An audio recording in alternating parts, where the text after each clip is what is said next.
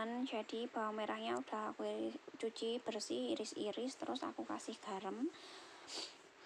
Terus kita tirisin sampai asat. Ini juga aku udah siapin bawang putih yang aku iris-iris biar kerasa ya teman-teman. Enak gitu kalau ada bawang putihnya. Terus selanjutnya kita siapin penggorengan. Kita panasin dengan api sedang ya teman-teman. Apinya nggak usah terlalu besar nanti takutnya kebrongot cepet gosong gitu ya. Jadi apinya sedang aja.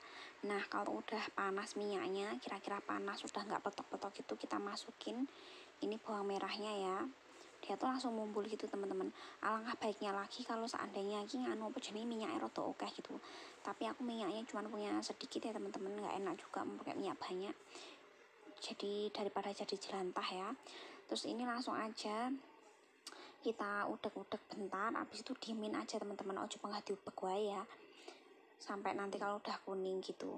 Nah ini hasilnya ya teman-teman. Gorengan pertama ini.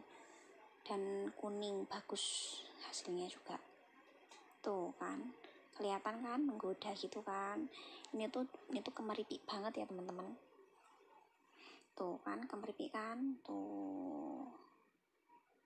Terus kan? Selanjutnya kita goreng bawang putih ya teman-teman nah ini kita tunggu sampai warnanya kuning nih udah mateng bawangnya.